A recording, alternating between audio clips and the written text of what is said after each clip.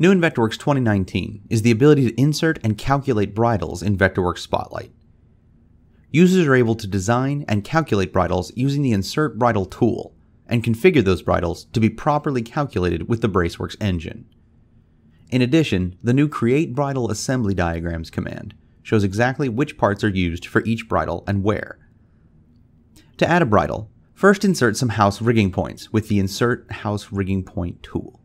Select the tool, then change the trim height to the correct height for your venue. Click anywhere in the scene to add a house rigging point. For laying out a matrix of points, other Vectorworks tools, such as the Move by Points tool, can be used to duplicate these rigging points. To attach a bridle, select the Insert Bridle tool. Choose between Auto and Click Insertion mode, and select the type of bridle desired. With Auto Insertion mode enabled, a red line will connect the two house rigging points to be used. Click once to add a bridle. Bridle part inventory can be managed by navigating to Spotlight, Rigging, Manage Bridle Parts. Here, you can adjust availability of certain parts by checking or unchecking the Use column. The count updates depending on the parts used in the bridles in the scene. Altering any bridles in the file will also automatically update these count numbers. Bridle preferences can be found under Spotlight, Rigging, Bridle Preferences.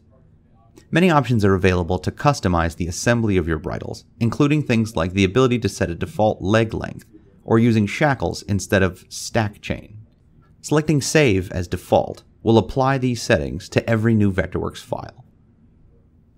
To help with assembling bridles exactly as shown in the Vectorworks file, you can generate a helpful diagram by selecting at least one bridle and navigating to Spotlight, rigging, create bridle assembly diagrams. After changing the settings to your preference, click OK to generate a new diagram on the design or sheet layer of your choice. The assembly diagram will list the parts used and the short name of each part to reference on the diagram itself. Reports can also be quickly generated by going to Spotlight, Reports, Create Bridle Reports. This will generate a spreadsheet showing every bridle part used in the scene.